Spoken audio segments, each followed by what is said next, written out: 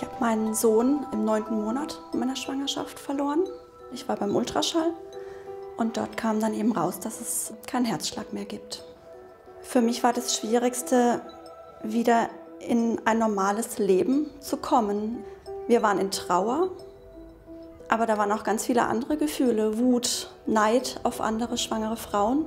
Dazu kommt natürlich, wir mussten eine Beerdigung organisieren.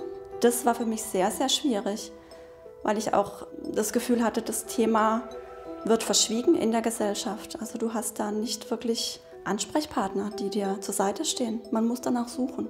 Besonders hilfreich, habe ich gehört von äh, anderen Klientinnen, ist dieses Armband.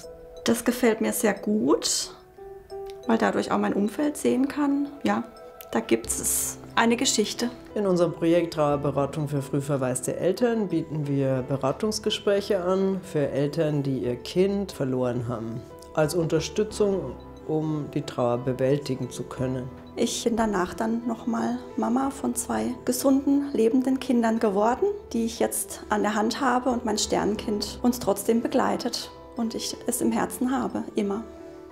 Und jetzt kommen wir zur Wochenziehung. Je 5000 Euro gehen an zwei Lose mit den Endziffern 65, 13, 282 sowie 77, 636.